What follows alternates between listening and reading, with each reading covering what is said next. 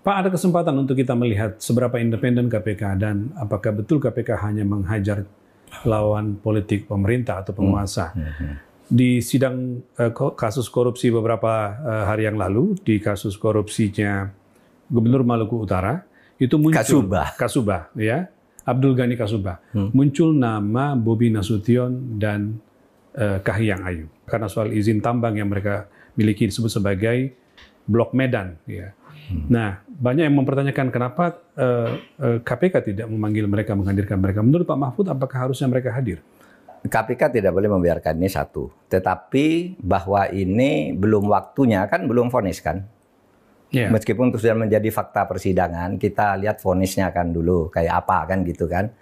Uh, eh, KPK sudah mulai sih memanggil itu dan menurut saya, uh, ya kalau ingin menegakkan hukum benar, menghilangkan kesan, bahwa ini uh, tidak pandang bulu. Seharusnya Bobby dipanggil. Seharusnya dipanggil paling tidak kan. Hmm. Anda disebut kan gitu. Blok Medan itu ini katanya gitu. Kalau enggak ya enggak, enggak usah takut, enggak apa-apa toh. Kan malah gagah orang datang hmm. uh, dipanggil. Uh, dulu saya minta diperiksa tuh dulu oleh KPK yang kasus Kota Waringin Barat tuh kan udah udah mau di sana. Katanya hakim MK mendapat sekian, Pak Mahfud sekian. Ada di media, saya datang ke KPK nih, saya minta diperiksa, katanya saya nerima uang dari sini lewat kiai, seorang kiai di Cirebon, katanya saya dibayar 4 miliar, kiai Cirebonnya siapa? Saya bilang begitu. Mm -hmm.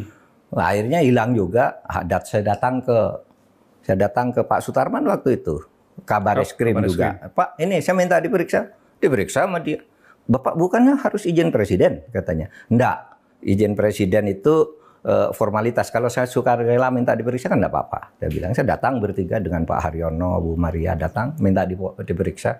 Saya dituduh korupsi, tolong periksa saya. Saya bilang kalau betul ada indikasi dan juga bukti tahan kami bertiga gitu. Hmm.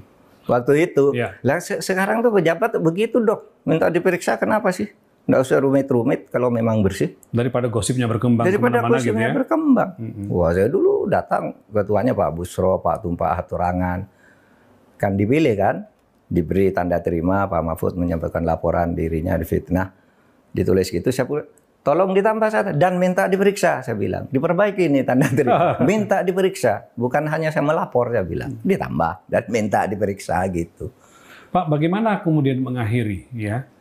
Kalau semakin ke sini KPK semakin uh, tidak kredibel gitu ya lalu dituding bahkan sebagai alat untuk menggebuk apa namanya lawan penguasa apa? Apakah balik lagi seperti Pak Mahfud mengatakan bahwa ada momentum untuk memperbaiki? Iya, ya, momentum. Ada momentum yang sangat bagus. Ada dua momentum ya. sekarang. Satu momentum yang paling penting itu adalah pergantian presiden secara resmi dan sah.